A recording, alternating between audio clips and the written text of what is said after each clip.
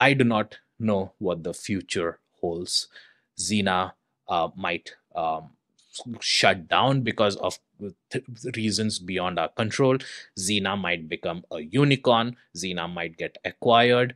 Anything can happen. And that is one thing you realize being in a startup environment. You see your colleagues being acquired, being shut down, growing. You appreciate that there are a lot of things not in your control as an entrepreneur, as someone who works in a startup, but there are few things that are.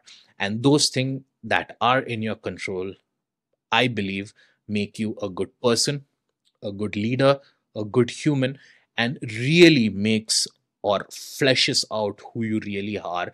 And then you get to decide whether to improve yourself or whether to double down on things that you feel are important. So it is a fantastic journey. And I'm very um, fortunate to be a part of it.